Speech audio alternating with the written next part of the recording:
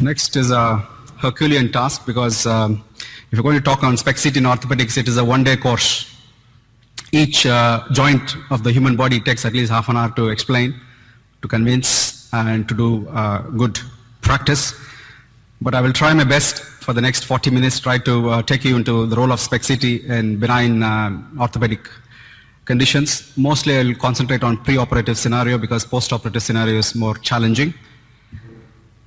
And uh, basically what we do at uh, Guy's and St. Thomas's is if the patient's got an acute symptoms, they go for a plain x-ray, then for an MRI. If it's a fracture, they go for a CT. And if it's a tendon pathology, musculoskeletal, they go for an ultrasound. But the main role of uh, uh, hybrid imaging comes in chronic symptoms. That's quite challenging. And often they go with an MR. If MR is positive and then they're looking in terms of any bony pathology, they go for a CT. But if MR is equivocal, most of the cases, then we will have a SPECT CT. And if the SPECT CT is normal, then the patient gets discharged. The beauty of this practice is it's quite easy for us to say all these things because uh, we work closely with a musculoskeletal radiologist. So when he gets a referral for an MRI, he decides whether MR will be useful in that particular scenario or whether he wants to go for a SPECT CT first. And secondly, uh, hybrid imaging in benign pathology is challenging. You cannot do anything on your own. Even if you have a radiologist, you're not going to get 100% of the answer. So you need a combination of a nuclear medicine physician, a musculoskeletal radiologist, and more useful, you have to have a good rapport with your orthopedician. Because whatever you say, he has to believe, and the feedback helps you to learn because we are in the learning curve.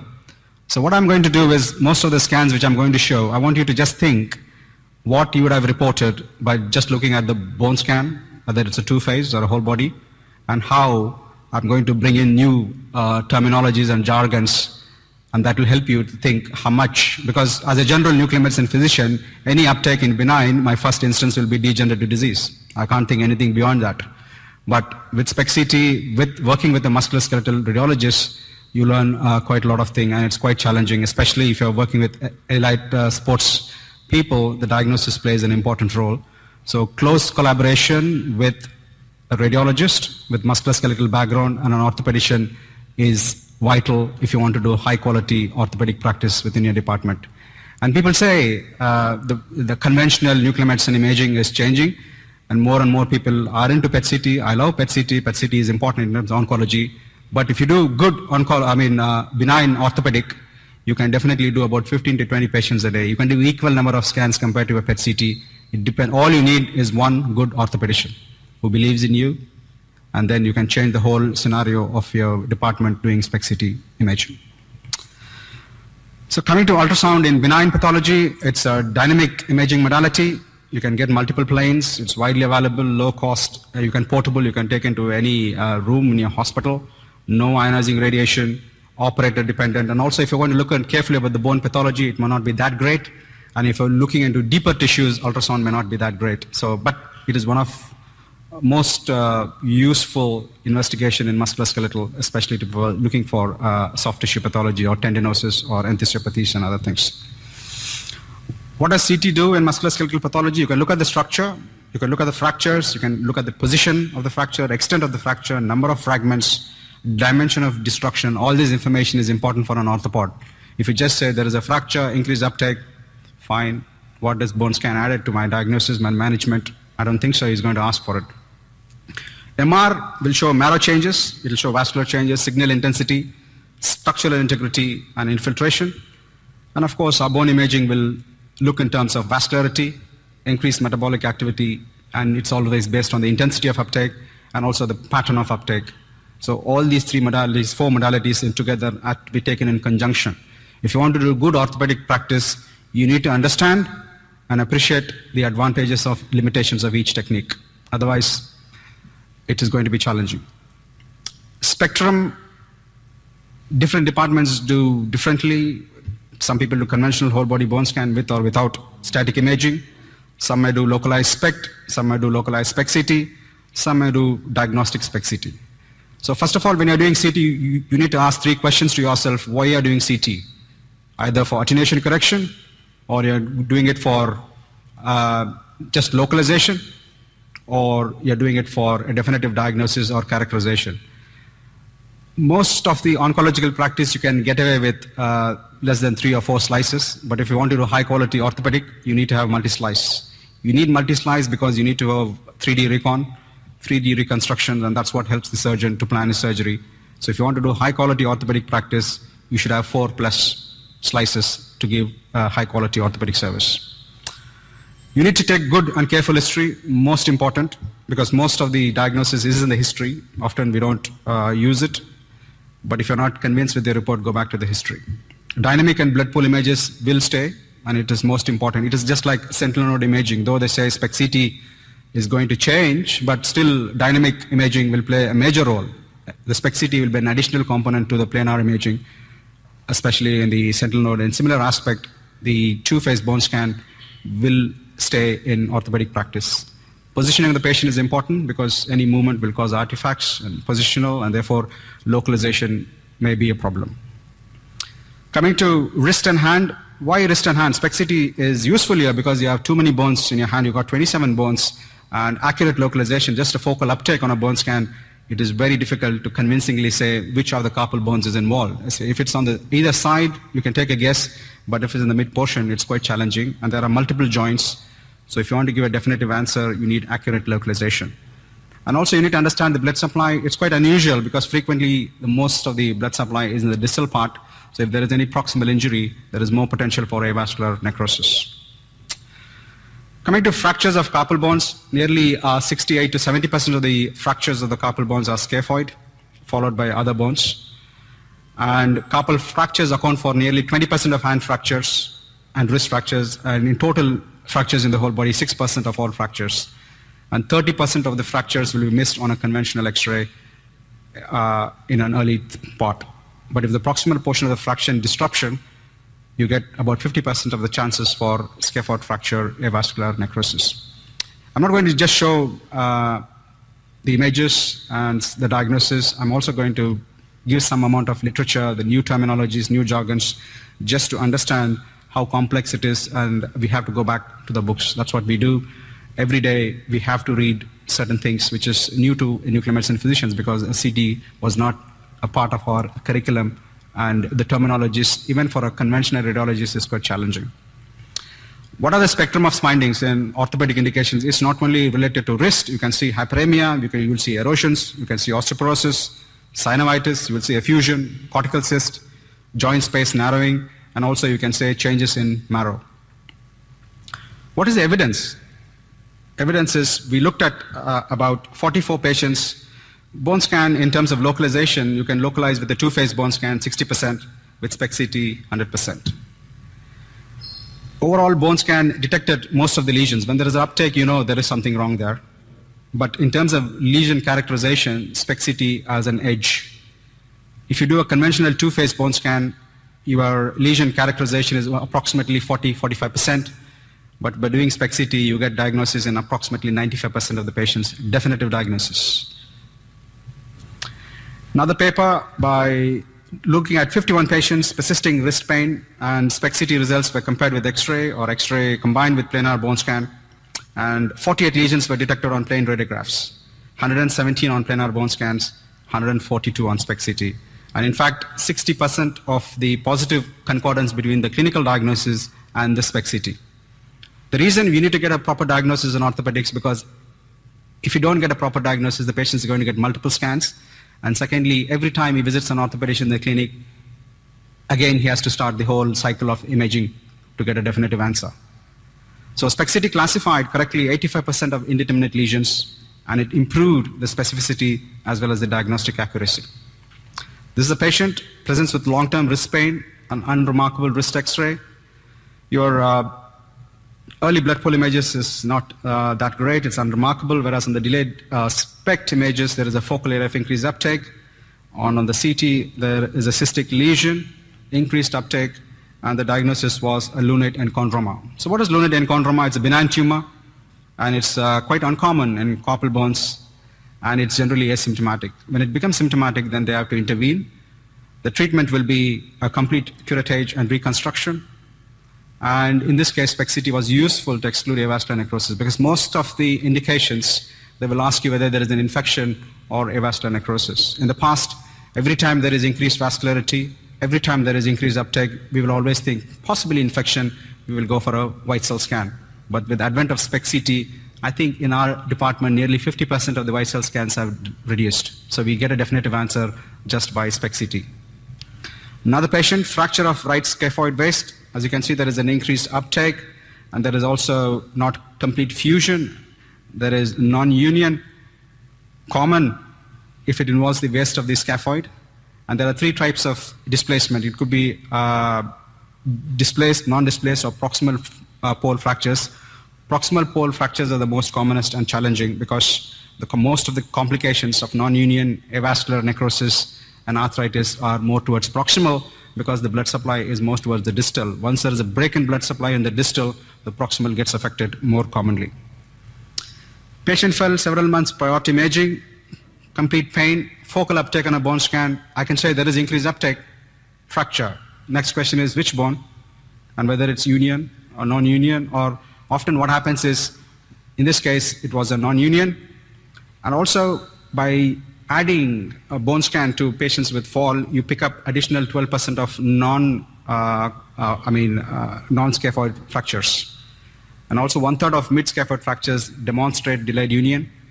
And SPECT-CT is useful to establish metabolic and morphological changes. So you give a definitive diagnosis, and these sorts of images is what an orthopedician wants to see, and that helps his plan and management.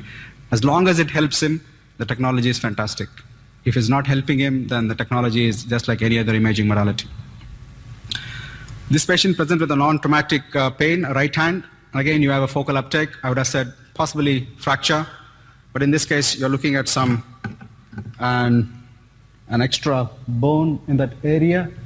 So that we made a diagnosis as an accessory ossicle. In fact, it's quite common, and it is challenging only when it becomes uh, symptomatic. If it is asymptomatic, we see most often the patients we don't worry too much.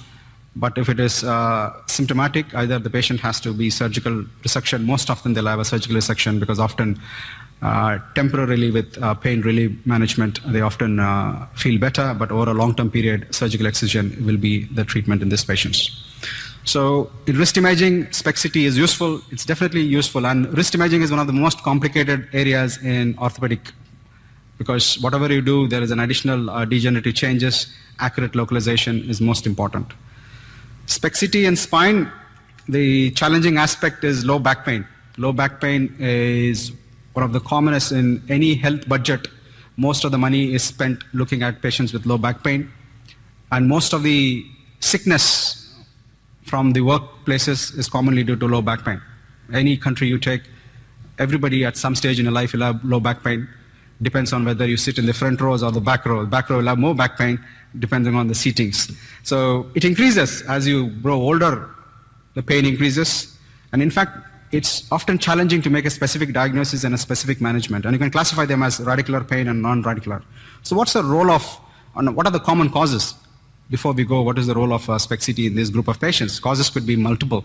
In fact, it is more than this, but generally it could be a fracture, it could be malignancy, it could be visceral, it could be psychological. Stress can also cause back pain. You know, it's amazing. You know, they, all these things, deformity, infection, neurological, all these problems. Back pain is very non-specific, and anybody can get back pain. And what is the role of SPECT-CT? In this sense, whole body scan uh, will miss most of the facet joint disease, but SPECT used to pick up uh, most of the uh, facet joint disease, but the problem is accurate localization. You need to give accurate localization for the orthopod or a radiologist to do an injection. Because even general, even if you miss one level, it's okay because you often inject one level above and below the site of focal uptake. But SPECT-CT will help in terms of accurate localization in these patients. Because if you do just CT, CT will show uh, degenerative changes, but nearly 50% of the degenerative changes will not be metabolically active. So what you see on a CT is not real. And if, you, if the clinical question is whether, which is the pain generator, nuclear medicine scan is the only uh, scan which will tell a potential pain generator as a cause of uh, pain in that particular patient. Facet joint disease, again, it could be unilateral, multilateral, uh, can be bilateral, single level, multiple level. And if you do SPECT uh, CT routinely, you get a patterns like this. There is an increased uptake in the spine. You have to be precise, whether it's costovertebral or costotransverse, it's an osteophyte or a bone island or a facet joint disease.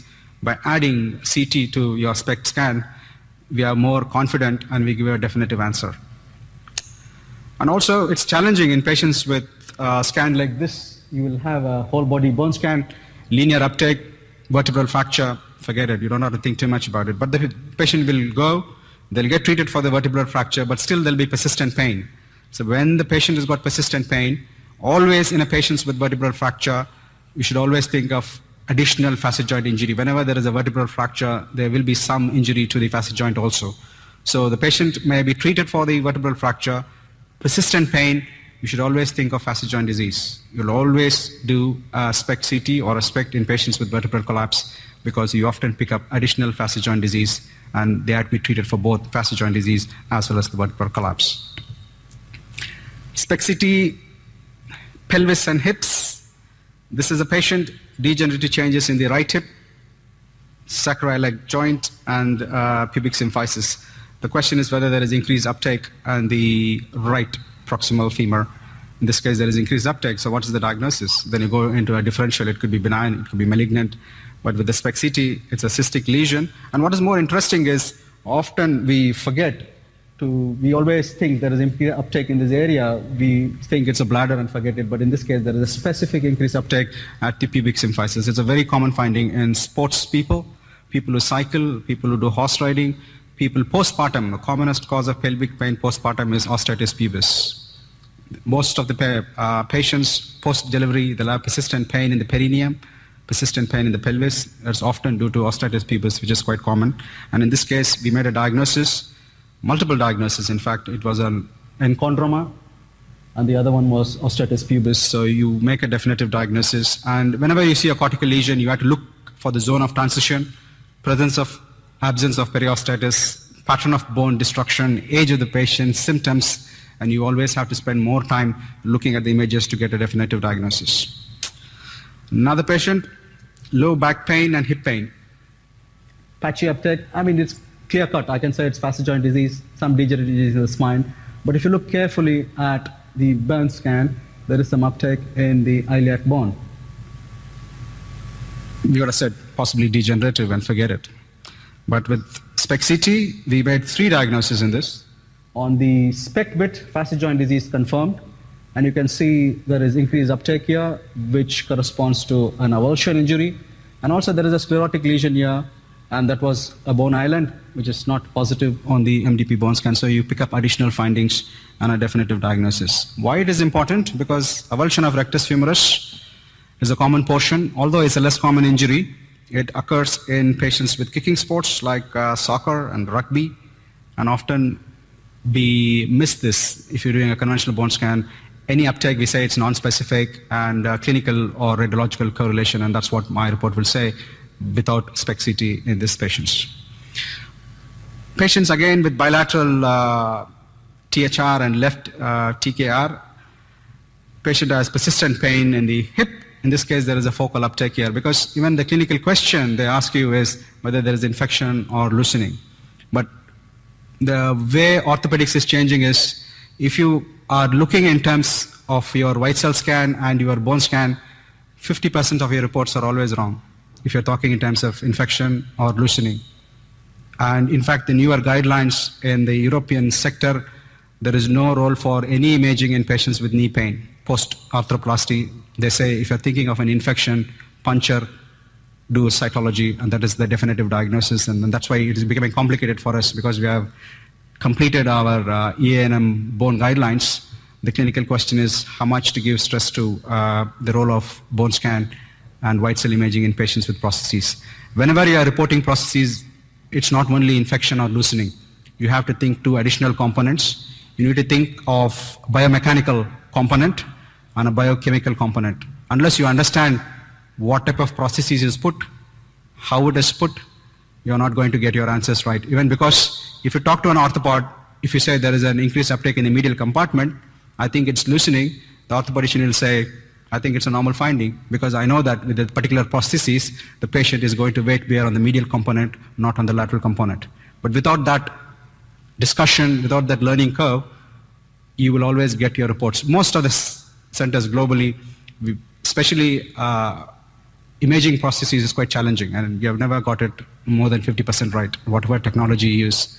But there is one group uh, looking at uh, these things. They have a software package looking at the biomechanical component and also the biochemical component. And uh, that is the only group which has published quite a lot on prostheses. It's a group in uh, Basel.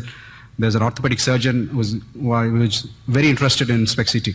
Uh, so he's, in fact, written a book which is 1,400 pages only related to knee prostheses. So he must be a very uh, fascinating surgeon. In this case, there is a focal uptake here that turned out to be a fracture. Fracture post uh, prostheses is quite common. And in fact, uh, periprosthetic fractures usually up to 1 to 4%, and most of the 5% of them is greater trochanter. And if you do a revision surgery, the chances of fractures increases. And usually they don't do anything unless uh, the patient is very symptomatic, uh, usually with painkillers and a little bit of physio and a change in their walking style and patterns. Uh, most of them uh, have some benefit. There's another patient, fracture neck of femur, still stiff lumbar pain. And in this case, the bone scan looks unremarkable. There's nothing much happening there. But if we do on the SPECT scan, there is uh, increased area of uptake. There is fusion, osteophytic lesion fusing there, and that is the pain generator in this patient. So, sacroiliac joint pain uh, is a primary pain generator, and it's useful if you give a definitive diagnosis because uh, whenever there is, it's not, if there is a pain in the sacrum, it's not always sacroiliitis. It could be other pathologies. So we have to be concerned about uh, what is happening in this particular patients. Patients with low back pain and anything abnormal in the scan,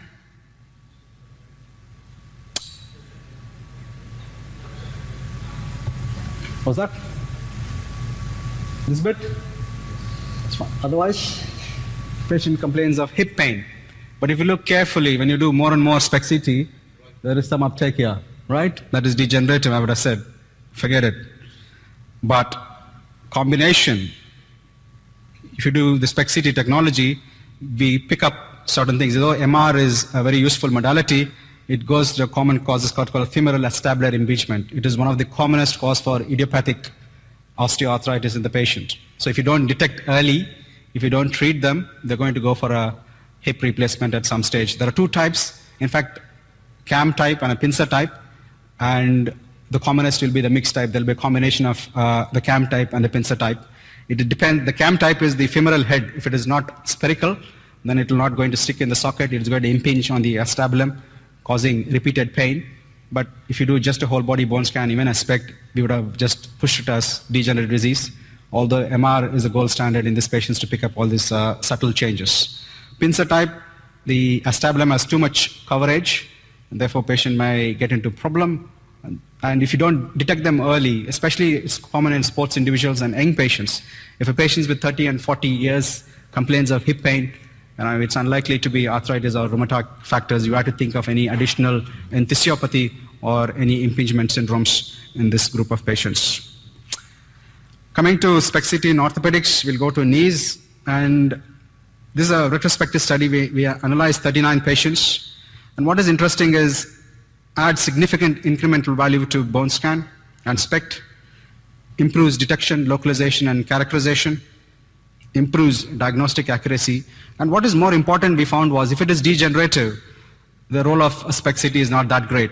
But if it is non-arthropathic indications, and that's where SPECT/CT picks in, and it gives definitive diagnosis in most of the scenarios. This is a patient with persistent knee pain. I wouldn't have called anything. We see this in every patient. Knee pain, there's uptake in the patella.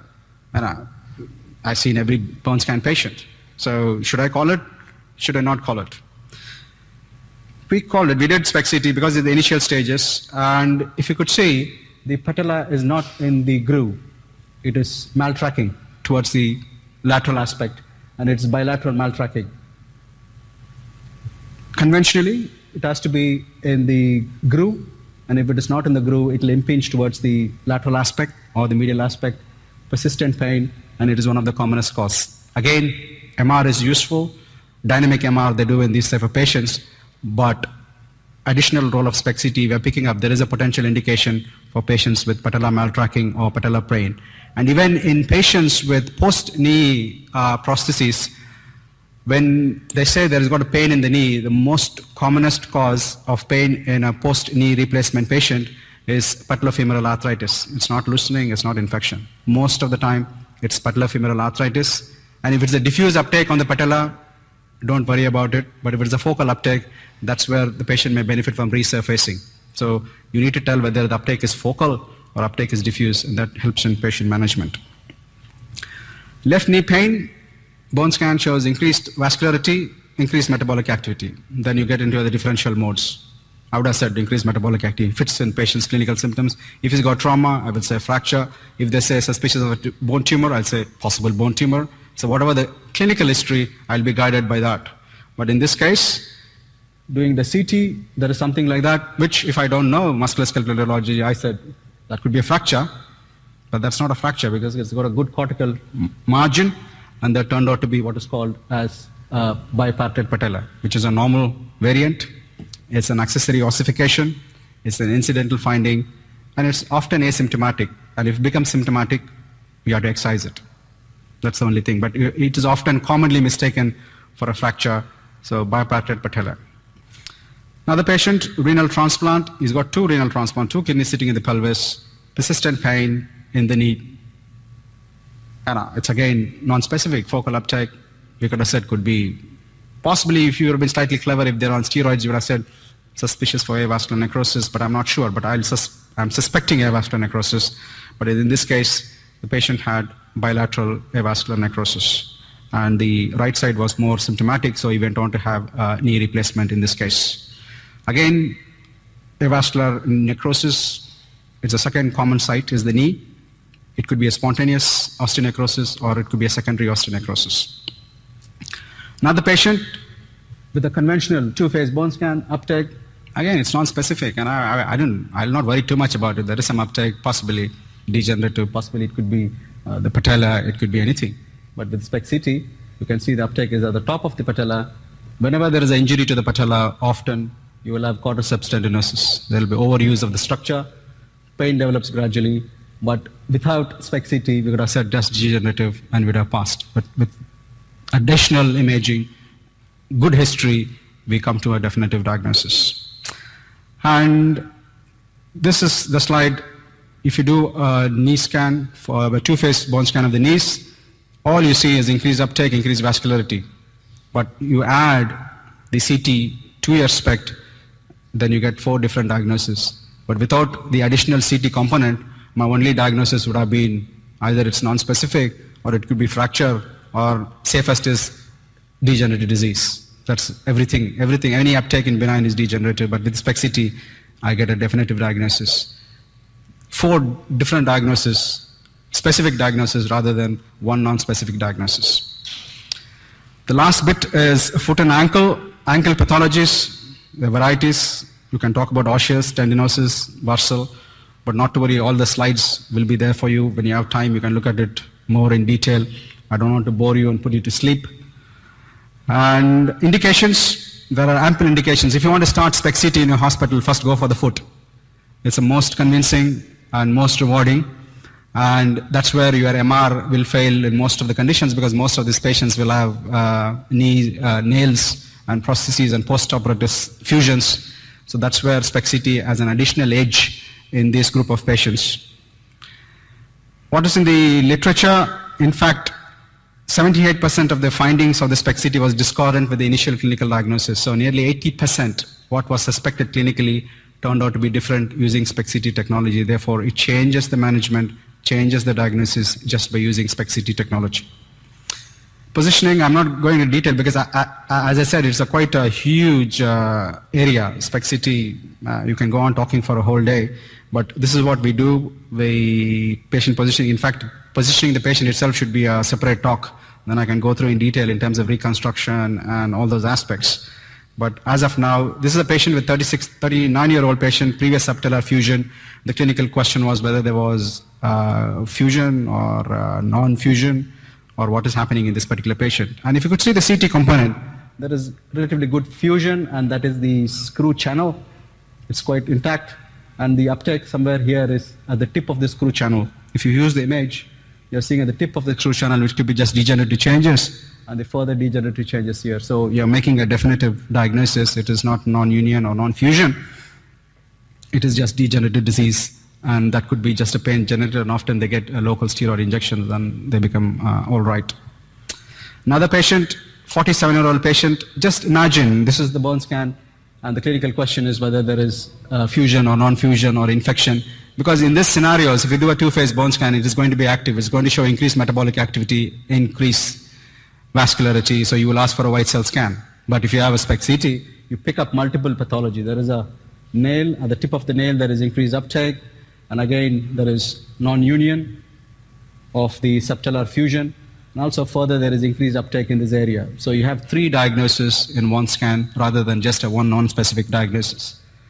In this case, there is enthesiopathy or os trigonum, and the cause of the pain most likely because it is protruding, and that is likely to be the pain generator, and that non-union they uh, knew before. So non-union rates 16%, and how do you classify? You need to know when to call non-union, when to call degenerative disease, whether it's partial union or complete union. So there are CT arbitrary values which you can look at it. But SPECT CT from one diagnosis of just non-union, you give three diagnoses.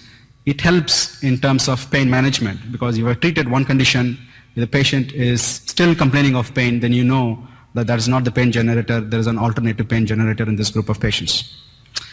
This is another interesting case. Patient came with bony lesion and they thought it was a mitotic lesion, could be a non-ossifying fibroma. Fine, agreed. There is no uptake there, sclerotic lesion, but you picked up all additional lesions. Patient's got multiple osteochondral defects and it has also got an osteophyte. So in this case, the pain generator was not the non-ossifying fibroma, it was the osteochondral defects and the osteophytic changes he had in the front of the talus. So non-ossifying fibroma is generally negative on a bone scan, so the role of bone scan is minimal. Increased uptake if it's the healing phase, and intense uptake, you need to have an alternative diagnosis. The tracer becomes intense. Whenever in a benign pathology there is an increased uptake, you always suspect fracture in these scenarios.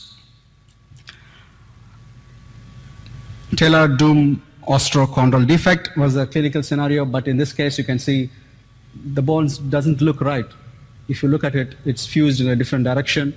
And tarsal coalition, this is one of the main indications where you can see, because on the CT, you will diagnose tarsal coalition. In fact, a good X-ray will help you to diagnose tarsal coalition, but most often in bone scan, we see uptake opposite to the coalition. Because the thing is, if the patient is changing the biomechanical stress, is altering the stress towards the other aspect, there'll be metabolic uptake on the normal part of the bone rather than the tarsal coalition bit. And therefore, SPECT CT really helps to assess where is the pain generator in this group of patients.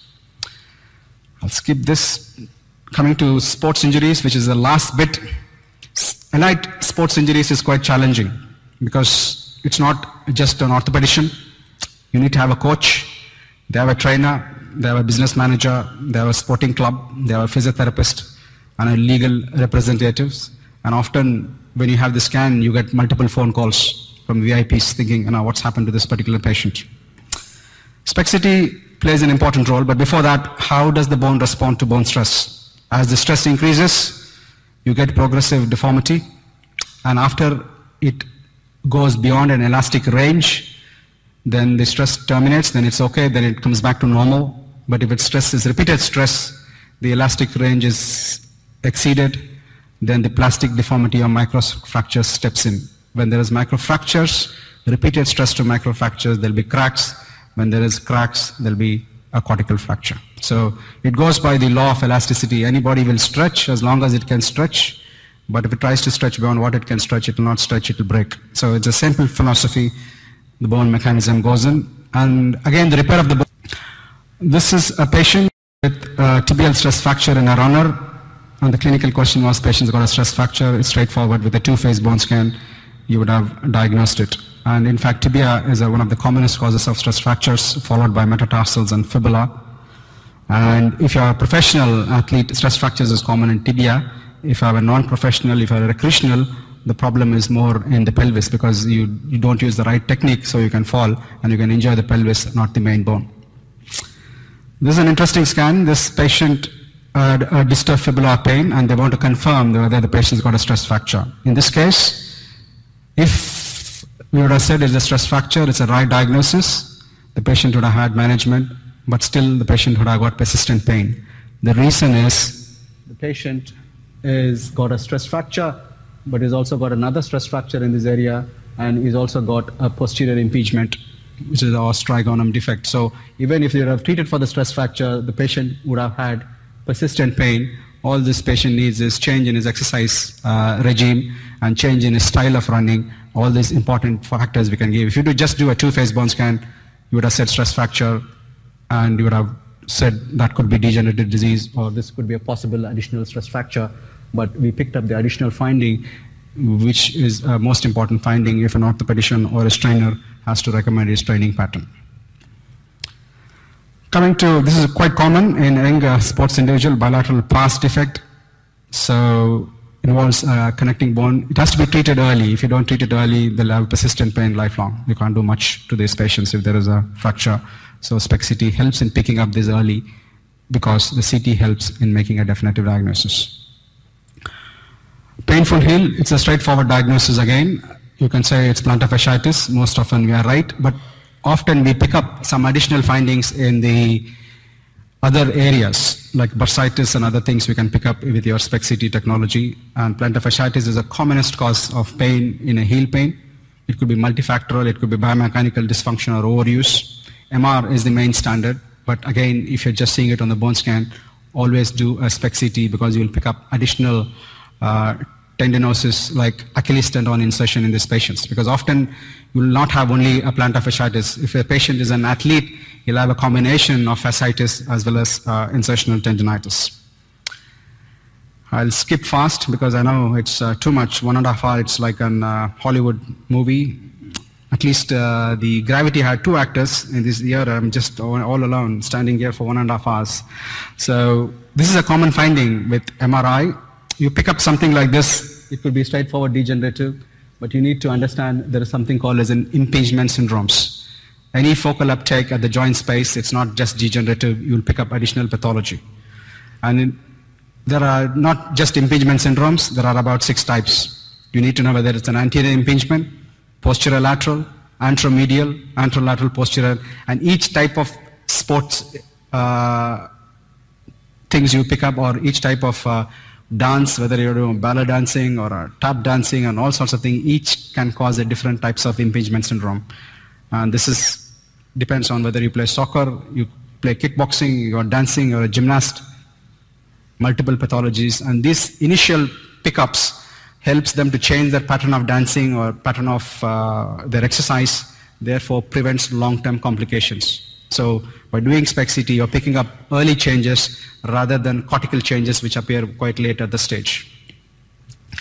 Management in this patient's impingement is physiotherapy. Most often you pick up early, they change your exercise pattern and the regime.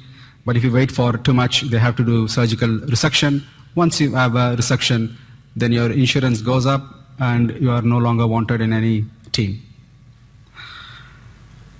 Coming to the last bit, frequently asked questions, radiation issue. In fact, in orthopedic, most of them we do uh, diagnostic scans, 1.5 millimeter slice thickness, and the radiation patient gets is towards the periphery, and it's always less than one millisievert. So radiation is not a big issue in orthopedics, even if you do a diagnostic scan. But again, I'm saying individual departments has to categorize whether you want to do scan for attenuation correction, localization, or a definitive diagnosis. Why SPECT CT? This is a clinical scenario. You have a bone scan. If it's diagnostic, fantastic, they get a treatment. If it's indeterminate, that's when the problem starts. You have further radiological examination. Then often the clinician sees the report on the day of his next appointment. Then he reads the report and he says patient needs a CT. Then he asks for a CT. It takes another two weeks. And then the whole pathway gets delayed for at least four to six weeks.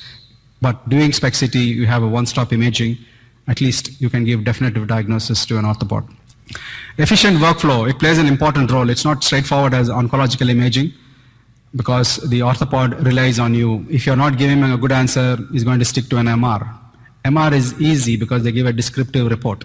So you get a differentials, you get a descriptive report, and most of the orthopedicians understand MRI report more than a SPECT CT report because SPECT CT is in an evolutionary mode. You need to have adequate clinical information. Always look at the previous imaging. That's the standard teaching at RSNA. You have to look at all the images before you start uh, reporting the scan or during at least in the process. You need to look at the previous imaging, whether it's nuclear medicine or non-nuclear medicine imaging. You have to optimize protocol injected activity and speak to the orthopedician whenever you are in doubt. Uh, talk to a clinician. It often helps. You have to have a standardized protocol. You need to have good reconstruction. And in our department, all orthopedic indications will have a SPECT CT directly uh, referred. So all patients with orthopedic benign indications will have a SPECT CT. Reporting you need to have a good report. all you need is a 3D recon. 3D recon helps the orthopedician in planning a surgery. And they also understand better. If they don't understand your report, they understand the 3D recon better and they know exactly what to do, whether to wait or go for further imaging or do surgery. Good communication, again, is the same thing, but musculoskeletal is challenging. As I said, still, we are in the learning process and you cannot diagnose what you don't know. So you have to get into this there's quite a lot of information in Radiopaedia, which is a very good website, I think, so for musculoskeletal. You need to understand the pathologies. And you need a team effort, a dedicated team, and a good protocols. There is a continuous learning curve. Nobody gets it right uh, every time. Still, in spite of using MRI, in spite of using CT, in spite of using bone scan, still you may not get a definitive diagnosis. Coming to reporting, the style is we look at the bone scan first. We talk about the vascularity, uptake, and intensity. We describe the bone scan and then we go to a CT, you have to be systematic. You have to look at the joint space, you have to look at the alignment, you look at the bone density, you look at the soft tissue, tendon insertion, relationship with the other structures around the bone, and neurovascular bundles. You need to have a structured report. You can be descriptive in your uh, description pattern, but in the interpretation, you have to be definitive. You can't sit on the fence. You have to give definitive answer or at least one or two differentials but not a vague answer like increased metabolic activity, increased vascularity is not the answer. This is a challenge. This is to convince that SPECT CT is spectacular. This is a patient with sickle cell disease, increased uptake in the ribs. The question is rib fracture, rib infarction. How many go for rib fracture in this? Patient with sickle cell disease, pain in the ribs, not rib fracture. Very good.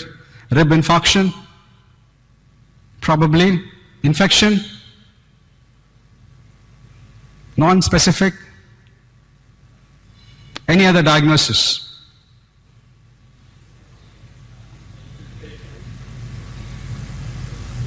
Can I?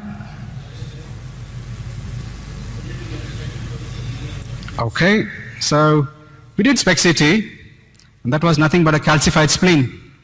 It's not in the rib, but people often tell me, oh, you could have done a lateral, you would have picked it up. Yes, I will do a lateral, I will say it is suspicious, but I can't be definitive. So again, by doing SPECT CT, it was a calcified spleen, not a rib, not anything else. Another patient, amputation, infection, left below knee stump. There is increased vascularity, increased uptake. The clinical question was whether the patient has got osteomyelitis. I would have said osteomyelitis. Even with the first year residency, you will say suspicious for osteomyelitis. And how many will call it as infection? Osteomyelitis, how many will go for osteomyelitis? How many will proceed for a white cell scan? How many will ask for a marrow scan? How many will go for MRI? How many will go for SPECT CT? I would say start with SPECT CT and all this turned out to be heterotopic ossification. It's not osteomyelitis. It is not osteomyelitis. So it was a significant change. We would have said white cell, all these things, and then we would have made a definitive impact. Sometimes you need, it's quite challenging. Whatever you do, you don't understand. In this patient, pain, both wrist and hands, increased metabolic activity. Why it's looking like that? I, know, I, I can't understand. Then my musculoskeletal guy said, it's not, we took an history, then we looked at the patient examination, then it all makes sense. The scan was like this. There is a fusion. It's a congenital anomalies fused of all the digits. And all they were asking was whether there is increased metabolic activity to assess any degenerative disease. So sometimes whatever you do, you may not, uh, you need to have a careful history. That's what uh, in the end it means. So bone SPECT CT, what does it add? Um, it helps in localization, as I said, characterization, specificity, definitive diagnosis, reduction of equivocal reports, and that's what is most important to me, and increases my confidence, and ultimately SPECT CT is spectacular. Do you believe it? How many? 98. Okay, uh, two are missing. SPECT CT is spectacular, there's no doubt about it. And if you want further reading, if you're going to start a system, there's a musculoskeletal CT protocols, excellent by uh, uh, department in the US, and it's fantastic. If you want to start, just follow them. You'll be right most of the times. If you want to know more about bone, there is uh, a bone update and seminars. And the European Association of Nuclear Medicine is coming out with uh, a SPECT-CT update. It's ready. It's going to be published next month. I think so. A whole uh, series on the applications of SPECT-CT. And uh, the British were slightly better in this, and we did it uh, a year before than the EANM. So we have a series of SPECT CT in nuclear medicine communications. But if you're feeling rich, go for our book on radionuclide and hybrid imaging. And if you're more rich, go for an atlas of clinical nuclear medicine. And uh, both the books are quite useful, I think, sir. It's not because I was one of the authors, but you know, it is supposed to be useful. And one thing I've learned is uh, you always have to thank your teachers.